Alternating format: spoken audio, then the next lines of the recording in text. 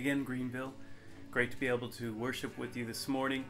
Hope that you had a good week and looking forward to this time together in God's Word, time to sing some songs together, to pray together, and to hear from the Scriptures. I did want to share with you, I believe most of you already know, but uh, it's been a week already. Last Sunday evening, uh, Ted Carr went home to be with his Lord and Savior, Jesus Christ. We want to continue to pray for Amy and for Ted and Amy's children, and just for our church family as we grieve this loss. We do grieve as those who have hope because we know that Ted is worshiping Jesus face to face on this Sunday. But the rest of us remain here and will miss him and miss the relationships, the, the joy, the love, just that we've experienced in traveling in this journey with Ted and his family. So please continue to pray for him, his family, uh, pray for us as a church, and may we really see all the ways that God has used this difficult and, and bad situation and used it for so much good. I am grateful to the Lord to have known Ted and to see how God has worked through Ted and through Amy and through their family during all of this trial. So we give God the glory. I also want to let you know that uh, the relaunch team met for the first time last week, and uh, we just began to talk about all the different aspects of what's required to restart in person worship, uh, Sunday morning worship services for Greenville. And we all agree that we need to take our time because the safety of our church, as well as the quality of the experience of worshiping together as a church family, are top priorities for us. We would love to meet right away, but we know it's not realistic for us as a church. So we're going to take our time and we're going to do our best to give us an awesome experience when we finally are able to meet again in person. One that's not marked with any fear or any distance or coldness, but instead has that spirit of love, the, the presence of the Holy Spirit. We are prioritizing a process over trying to pick a time. So I will keep you as informed as I can each step of the way. I also want to keep you informed continuously about the activity that's going on here on the church campus with improvements for the buildings, for the parking lot, for the sanctuary. It's exciting to see. Uh, earth is being moved and, and space is being cleared out, uh, and even work has begun in the Life Center. And uh, it's neat to see how it unfolds each step of the way. And I know when we get to meet together, it's going to look different and it's going to be exciting to see a beautiful sanctuary. I'm so thankful for the men and women who are working so hard up to this point. The project, of course, isn't close to being done. It's going to take a while, but uh, there's real progress that's being made. And so continue to pray for your church and for the leadership, both the relaunch team as well as the campus improvement team and the different people who are serving there. Uh, and we thank you for all the many ways that the church has contributed for, uh, for the life of this body to grow and to see us using God's, the resources God has given us to the best of our ability. Uh, I wanted to let you know about a couple of meetings that are happening, one today and one tomorrow. Tonight at 6 o'clock, we're going to have a church wide prayer meeting. It's going to be using GoToMeeting. You can go to our website and you can get the login information there. And we hope you'll join us tonight at 6 o'clock. Uh, last month when we did this, it was great. There was a little bit of time of fellowship. We prayed for one another. Lots of different people were able to interact with us. So I pray that you'll join us tonight at 6 o'clock for a church wide prayer meeting. And then tomorrow evening, at 6:30 that's Monday evening at 6:30 I'm inviting you to join me with a young lady that I've recently met. Her name is Rachel and she's friends with some people within our church.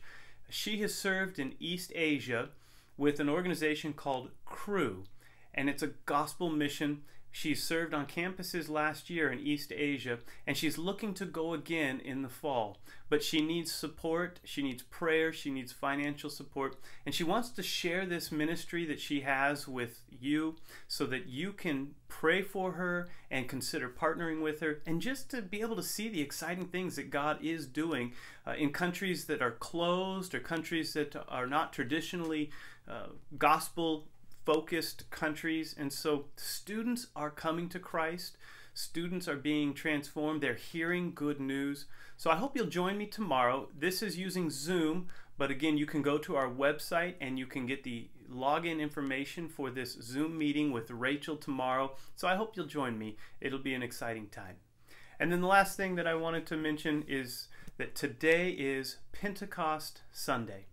Pentecost Sunday is when we celebrate the coming of the Holy Spirit for the church. Of course, God's Spirit had been working from before the beginning of creation, but God had promised that He would pour out His Spirit upon His church in a new, fresh, and unique way so that all who believe in Jesus Christ, all who follow Him, are indwelt by the empowering presence of God Himself. The Holy Spirit, called the Comforter, called the Advocate, has indwelt us as believers. That happened in a radical, exciting way in Jerusalem first with the original apostles in the early church, there at the, the festival of Pentecost, when the Spirit was poured out and even visibly manifested himself with flames of fire over the heads of the apostles, and they spoke in languages so that all who were there, men and women from all nations that had come to worship in Jerusalem for that festival, heard the good news preached in their own language. It was the beginning of a spread that continues to this day around the world of the power of the Spirit combined with the gospel message, making an impact for all people. We're the recipients of that. The gospel has come to us because of the power of the Holy Spirit. The gospel has penetrated our hearts because of the Holy Spirit. So today, Pentecost Sunday, we thank God for sending the Holy Spirit. And even the sermon message out of Hebrews, it's not a Holy Spirit focused message in that sense. It's it's primarily focused on Jesus, but how fitting because what the Spirit does is he points us to Jesus. And so this message, I'm praying, is a Holy Spirit empowered message that will penetrate your heart and mine and help us to follow Christ fully. Even Jesus, our passage is going to tell us, even Jesus was empowered by the Holy Spirit to lay down his life as a sacrifice. We need the Holy Spirit, and on Pentecost Sunday, we thank God for the Holy Spirit. So let's bow our heads for just a moment and pray and thank God for this opportunity to worship. Thank God for this church family, and thank God for the Holy Spirit. Heavenly Father, we thank you that you have not left us alone. You have not abandoned us. First, you sent your Son to rescue us from sin, and then you sent your Spirit to indwell us so that we might live for you. We might be able to turn from sin and embrace the good news, and that we might be able to bear fruit fruit in our own lives through sanctification, and fruit of seeing more and more people come to Jesus through the good news. So, Lord, this morning may our worship be pleasing to you. May the songs we sing be sweet sounds in your ear. May the word that is preached reach into the depths of our soul and change us because we will encounter you in your word by the power of your Holy Spirit. This Pentecost Sunday, we thank you for the Holy Spirit. We pray this in Jesus' name. Amen. Well, why don't we join together and proclaim the faith that we believe by singing this worship song? And it's called just that We Believe.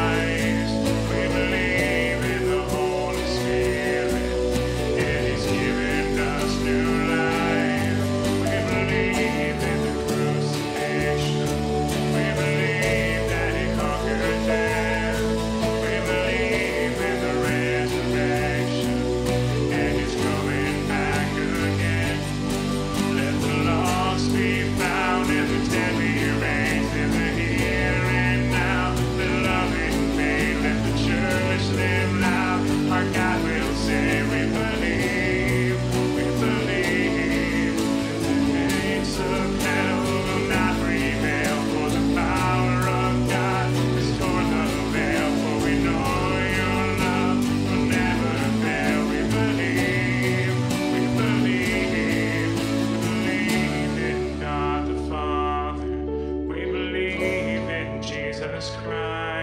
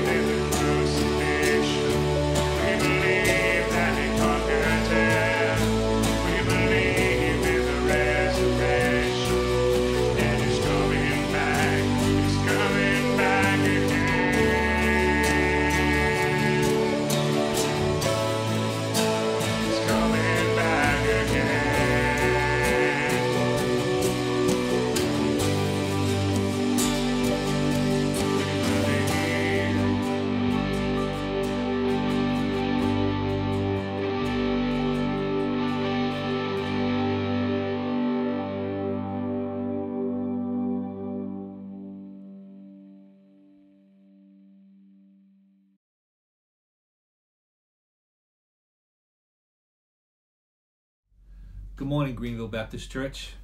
I'd like to start our prayer time off with a portion of reading from the song of thanksgiving that David had written in First Chronicles. Ascribe to the Lord, O clans of the people. Ascribe to the Lord glory and strength.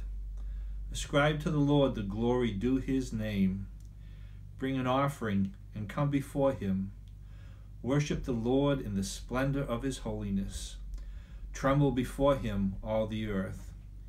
Yes, the world is established, it shall never be moved. Let the heavens be glad and the earth rejoice, and let them say among the nations, The Lord reigns.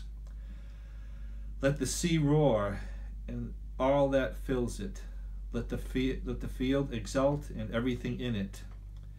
Then shall the trees of the forest sing for joy before the Lord, for he comes to judge the earth. Oh, give thanks to the Lord, for he is good, for his steadfast love endures forever. Save us, O God, of our salvation, and gather and deliver us from among the nations, that we may give thanks to your holy name and glory to your praise. Blessed be the Lord, the God of Israel, from everlasting to everlasting. Then all the people said, Amen, and praised the Lord. Holy and merciful God, we come before you and thank you for your love that does endure forever. You are our rock. You are our Redeemer. Holy Spirit, continue to do a mighty work in your church, in this world that we live in. Lord, in the many things that are unknown, even in the near future, Lord, we come before you and ask for your guidance, your wisdom. We trust your leading. We lean on you for those things we don't understand, but we trust the outcome will glorify you Lord, we, we do have many prayers in our church, in our family. We have the Carrs. We have Amy Carr and all her children. We pray for the funeral, private funeral that will be held this weekend. We pray for Amy to be strong. Pray for the children, from the younger ones to the older ones, that you will fill their hearts Fill those voids, Lord, and help them in this difficult time. Lord, I pray for Deb Morrison. Uh, and uh, we pray for the granddaughter, Shelby, who has lost her life in the car accident. We ask for your grace and your and to be merci- merciful in those uh, situations, Lord. And Lord, grant them peace and uh, guide them through this with your Holy Spirit. And Lord, we pray the prayers for many of our in our church who are still struggling uh, with uh, possibly finances and, and jobs and family members who may be sick and uh, just living in this time through this pandemic and that you would help them in their worries and in their grief. Lord, we also pray for and um, thank you for the church projects that are still going forth, that are starting, that new things are evolving each and every day uh, with, with new and exciting changes throughout the church that we pray in the end uh, will glorify you uh, through the people and their hearts and a place to that really represents you, an excellent place of worship.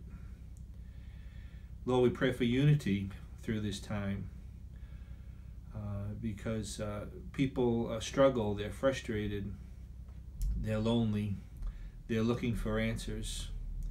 And Lord, throughout the world and in our church, Lord, and we just ask that you would unite us together until that day comes when we will be re- reunited, worshiping in our churches together once again until that time, Lord, that you would be our stronghold, that you would be our rock, and hold us hold us strong in our homes, in our families, and in the in the church. And Lord, we certainly also pray for um, our offerings, Lord. Uh, the offerings that continue to come in that you keep blessing us with.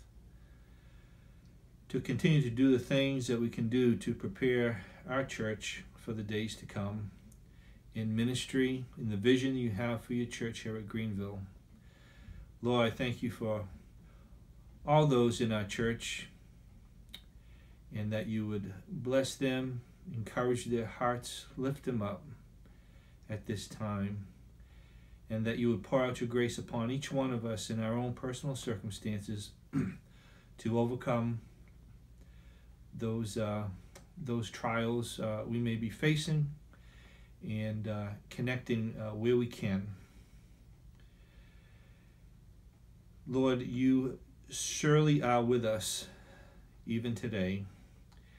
We sense your presence, we feel your presence, and we thank you for your faithfulness to us. Lord, let us pray the prayer you taught your disciples. Our Father, who art in heaven, hallowed be thy name. Thy kingdom come, thy will be done, on earth as it is in heaven. Give us this day our daily bread, and forgive us our debts as we forgive our debtors. And lead us not into temptation, but deliver us from evil. For thine is the kingdom, and the power, and the glory forever. Amen. Bless you all this morning. Peace be with you throughout the week. Amen.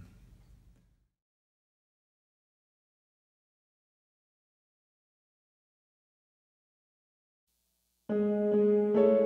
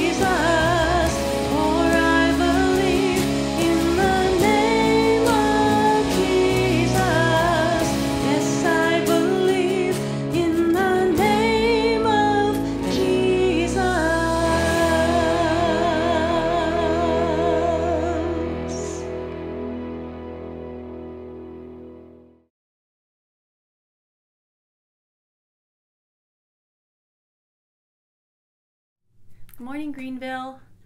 I love and miss you all, and we're praying for you as a church.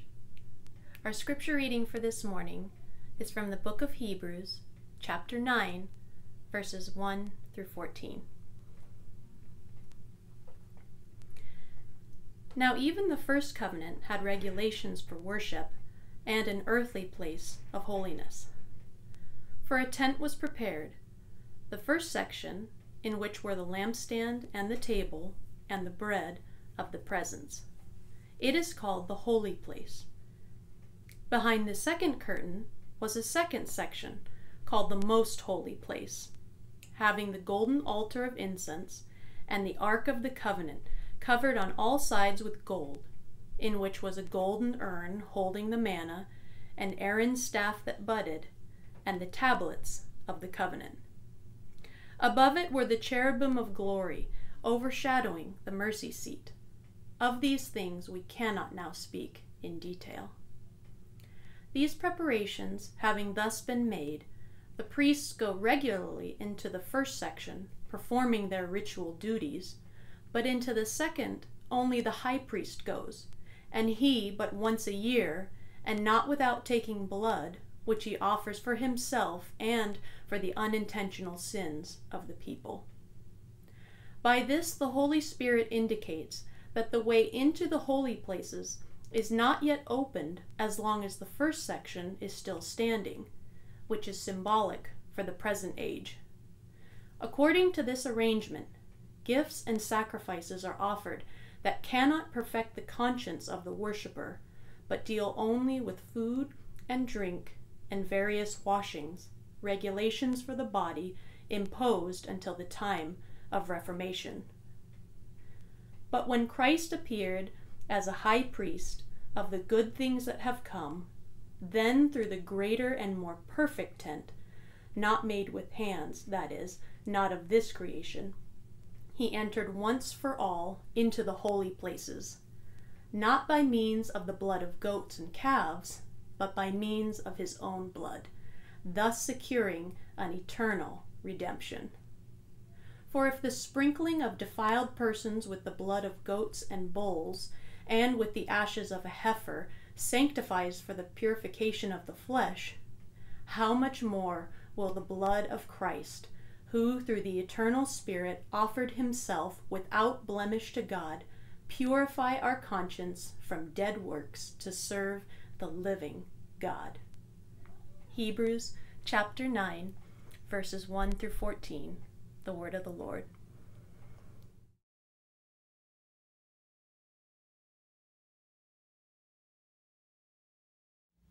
Have you ever walked in on a conversation between two friends that have a history that goes back together and they're talking about times and places and people that you're not familiar with?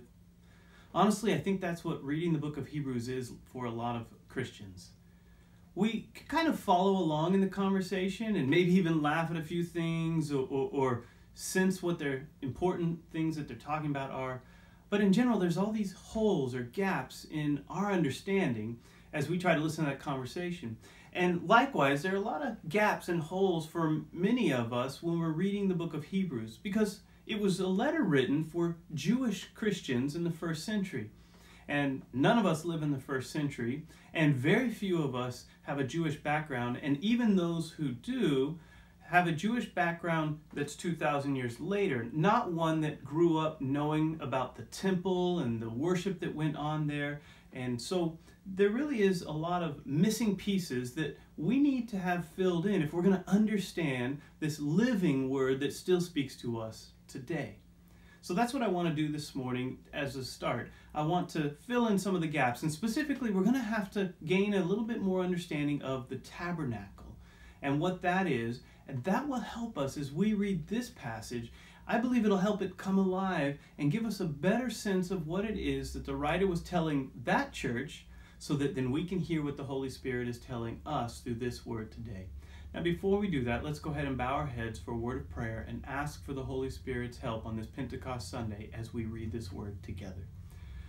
Heavenly Father, again, we thank you for the scriptures, for the word of God. We thank you that this is a living and active word that still speaks to us today.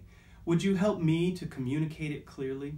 Would you help me to fill in some of those gaps so then we can follow along in the conversation that is meant for us to be taught by and learned by just as much as those original readers? And Father, would you help each one of us to take this word and not just have new knowledge, but have new affections and new love and new faith in you because of what we read here? So, Lord, may the words of my mouth and the meditations of all of our hearts be pleasing and acceptable to you, O Lord, our rock and our Redeemer. Amen.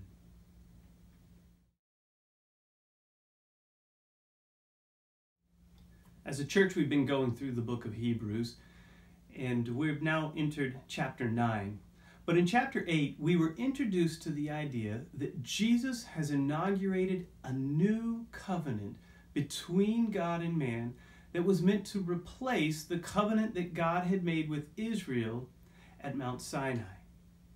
And the old covenant was encapsulated with by the 10 commandments, by the tabernacle and later the temple, and by of course the sacrificial system.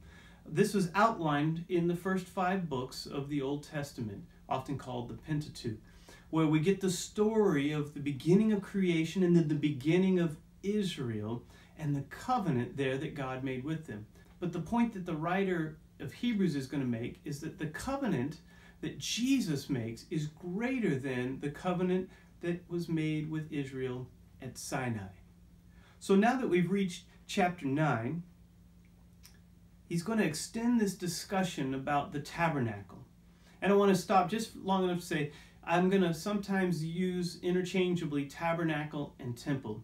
They were two different things, but they were in essence served the same purpose. It began as the tabernacle, which I will describe in a moment, and then later became the permanent structure known as the temple. Solomon built it, and then it was destroyed and it was rebuilt, and then actually it was still being built and finished off in Jesus' own day. But there, the tabernacle and temple, I'm going to use those interchangeably. And the writer of Hebrews here, in the first seven verses, he's really going to dive into some detail about the tabernacle or the temple. He's going to explain things, or, or not really explain them, he's just going to talk about things because the writer, the readers of this letter would have known what he was talking about. All the pieces of furniture and the activities that went on there, they'd had a basic familiarity with them. But for us, it, it is new. So I'm going to spend a few moments and explain the tabernacle. What was this tent like structure? What was it all about? And what were a few key elements in it? So that then when we read it, it makes sense to us. We're not going to do an in depth study of every element that's there and, and exactly how it was built, but the general overview will help us because the writer is going to use this tabernacle as a picture of an important truth of the new covenant that Jesus inaugurated. So, the tabernacle, God told Moses how to build it, exactly what he wanted it to look like, right down to the types of fabric that were to be used for this tent like structure, of the, the distance and the, the length, what was supposed to go inside of it, and the activities that were supposed to happen there. And this is related to us in the book of Exodus. Now, the tabernacle, as I said, it was a temporary structure. It was a tent like structure that was designed to be able to move with the people of Israel because when they first received this instruction, when they first entered into the covenant there at Mount Sinai, they had not arrived where God was bringing them. They were a wandering people. And actually, because of their sin, they wandered for 40 years, and the tabernacle stayed with them and it was always to be erected in the center of the camp, with the tribes all having their tents set up around this central tabernacle, this central tent of worship. And that's what the tabernacle was it was a place of worship where God said he would make his presence dwell among the people there in that tabernacle. And it would be the center of the worship life for the people of Israel. And it exists it consists of three different parts, if you will, three different parts of the structure. And I want to go through quickly each of those parts. First, there is the courtyard. The courtyard uh, had an outer wall that was made with fabric and, and poles, and it could be moved, but then it could also be quickly set up, and it kept outsiders, it kept people outside of the temple unless they came in through the main entrance there for the purpose of worship. And what happened in the outer courtyard was that's where the animals were sacrificed, where the blood was poured out. We talked about that a little bit last week. Where the carcasses there were burned. And then there was also, so there was the altar that was there.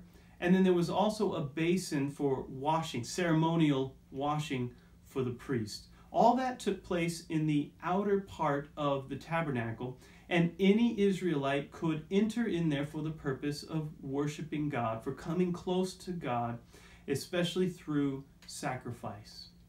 So that's the courtyard. The second part was called the holy place. Now, this was actually a covered tent. And inside this, only the priest could go. The priest would go in and minister inside the holy place. And there were three important pieces of furniture that were inside the holy place.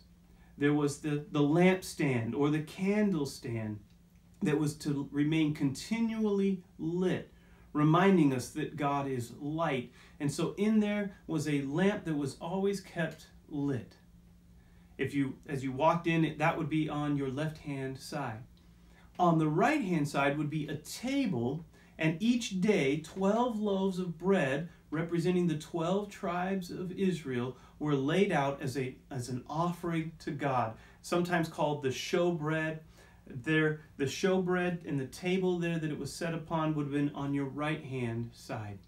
And then straight ahead there would have been another altar but this altar wasn't for animal sacrifices it was an incense altar where they would burn incense that would be like a sweet aroma to the lord that would remind them of the presence of god that was there at the tabernacle that was all in, in an enclosed structure a tent like structure called the holy place. But then there was a final and third section that you had to go through the holy place to enter into the most holy place. It was cordoned off with a veil, and only the high priest once a year could go into the holy place, the most holy place, sometimes called the Holy of Holies. And inside there was the Ark of the Covenant. It was a golden box that housed the command the covenant itself, the tablets written by God with the 10 commandments on them rested inside this golden box or ark along with a jar of manna that was preserved from the time of the wilderness wandering, the food that God gave the people of Israel to eat and then also the staff that Aaron had that miraculously had budded, that God had called, caused to bud to prove or demonstrate that Aaron was the real priest of God. So these things were in this golden box, and on top of that golden box, so as part of the, the lid that went on there, that lid is often called the mercy seat or the covering. And that's going to be important throughout the book of Hebrews. But that lid also had two angels carved into it, like uh, statues of angels called cherubim. And the high priest would go in once a year. And of course, he would never go in without blood. But we'll get more into that in just a moment. But you see the, the three parts the courtyard, and then there's the holy place, and then behind another veil was the most holy place. And that is where God said he would make his presence known. Over the mercy seat, the Spirit of God would dwell.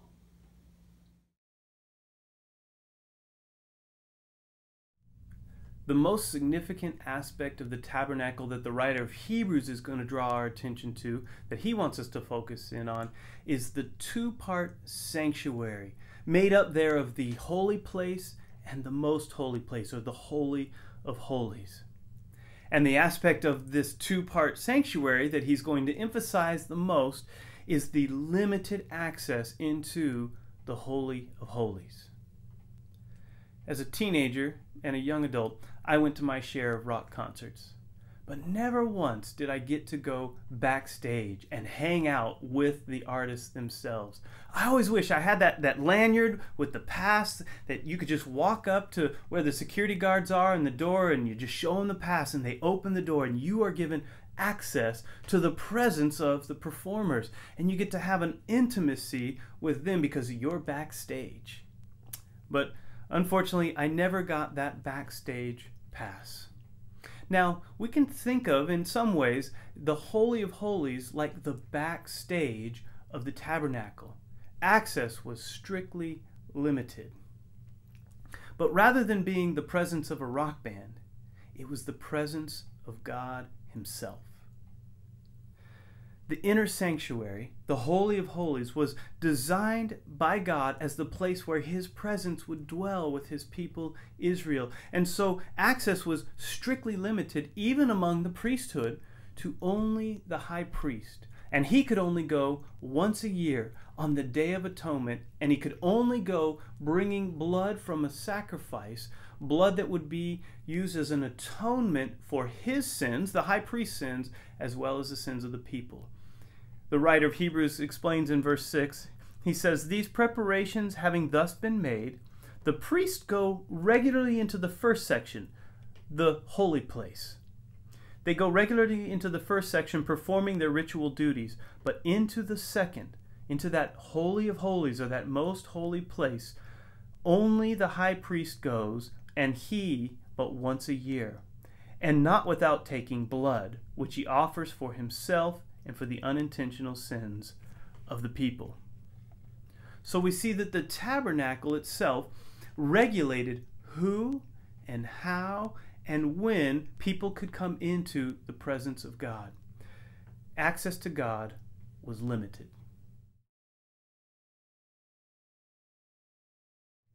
In verse 9, the writer tells us very plainly that the tabernacle and the priestly duties performed there are symbolic.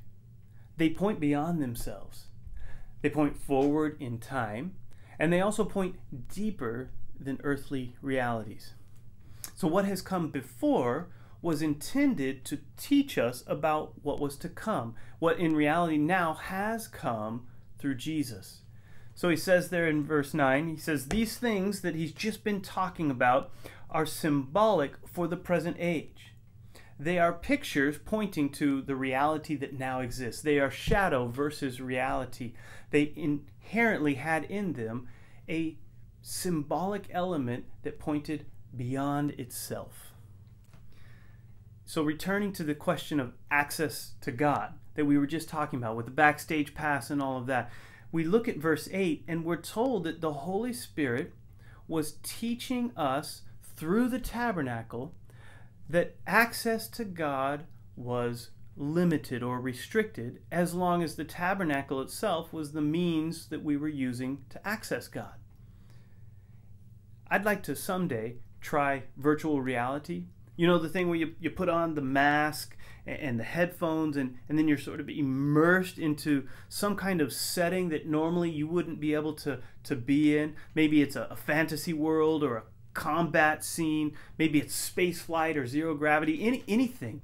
And the technology to, for this experience is so immersive that it feels like you're really experiencing those things. But of course, you're not and, and the, the mask that is on your face and the, the headphones pressing against your ears are reminders that it is like reality, but it falls short of reality. Now, I think we can take that image and it'll help us understand the tabernacle and more broadly the Old Covenant in general. The, the Old Covenant and its tabernacle, they allowed Israel to enter into relationship with God. I mean, that's what a covenant is it's a formal relationship between two parties. So, the old covenant and the tabernacle there that was used for worship allowed Israel to enter into a relationship with God.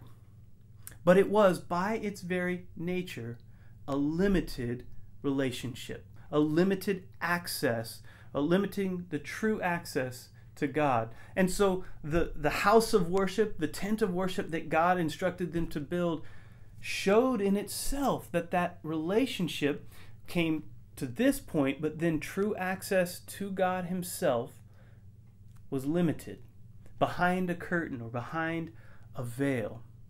Now, the restriction wasn't because God is just reclusive or, or exclusive, or even that he's mean or something like that and doesn't want people around.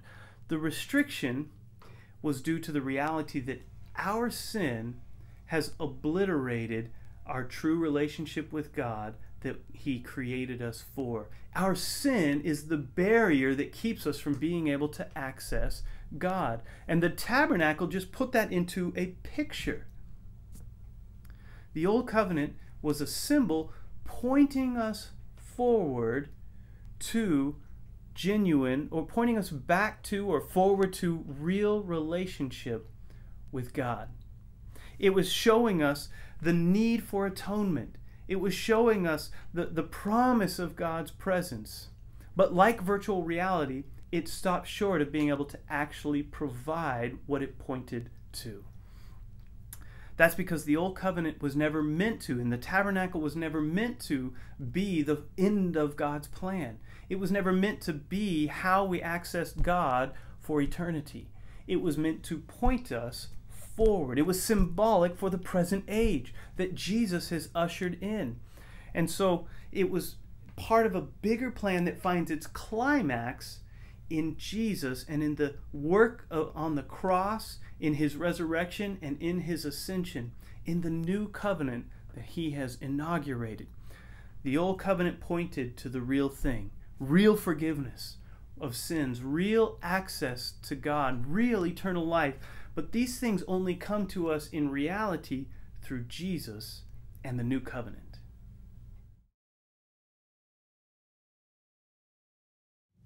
More specifically, the reality of these blessings come to us because of Jesus' sacrificial death and because his role is our high priest. As we saw last week, his role is our go between for us and God. His blood paid for our sins.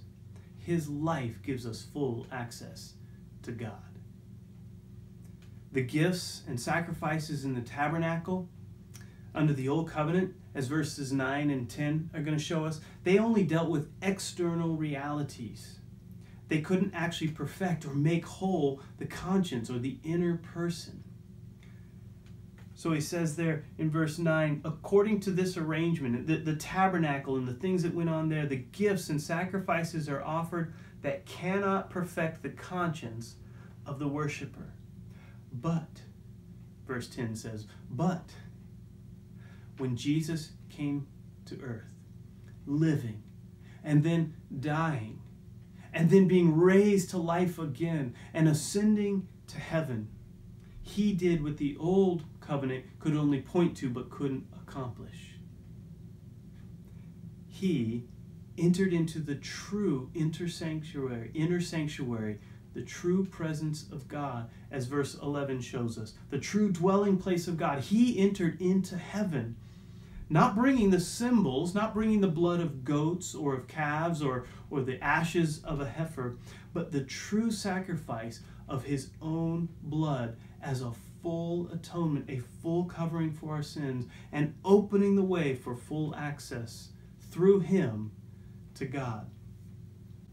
Verse 11 explains it this way But when Christ appeared as a high priest of the good things that have come, then through the greater and more perfect tent, he's talking here about heaven itself, the one that the earthly tent pointed to, that showed that it was a reality. This more, this greater and more perfect tent, not made with hands, that is, not of this creation. And then it says, He entered, Jesus entered once and for all into the holy places, not by means of the blood of goats and calves, but by the means of His own blood, thus securing an eternal redemption.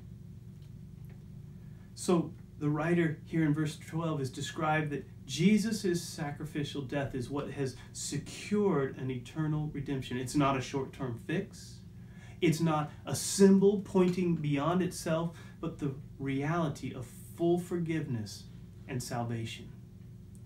And then in verses 13 and 14, it tells us that, that the symbols of the goat's blood or the bull's blood, the sacrifice, sacrificed animal's blood, if it had the power under the old covenant to cleanse externally, how much more will the blood of Jesus, the Son of God, have the power to cleanse us to our very core, to our inner being, to the real person that we are?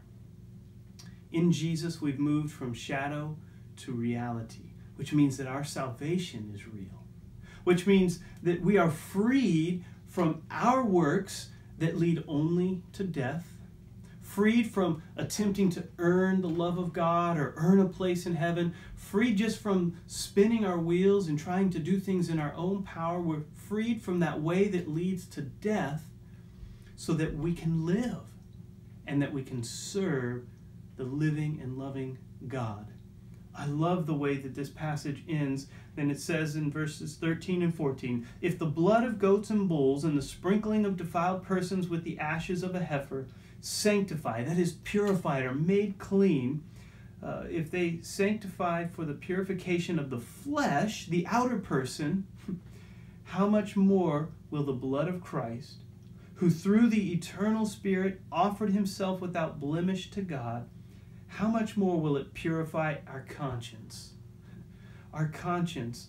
Not talking about just that little voice that tells us what's right or wrong, but the true self, the inner person. How much more will it purify our conscience from dead works? Purify us from all the stuff that we're trying to do that lead only to death to serve the living God. That's the reality that has become ours in Jesus. Listen, church. Access to God is finally a reality through Jesus Christ. His sacrifice for our sins cleanses us and then clears the way for us to go back into relationship with God. Silly as it was, I want you to return with me to that backstage pass illustration.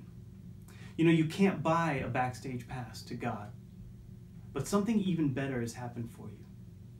You see, the star of the show has left backstage and he's come out into the audience. And he's come to you and he's put his arm around you and he has walked you to that to that door. And there's security guards there and he simply says he's with me. And they open the door and they say go on in. See jesus has come in the flesh to give us access to god he is our backstage pass his blood has already paid the price for our sins. We are welcomed back into the relationship with God that He designed us for. Jesus has acted on our behalf, doing what would be impossible for us.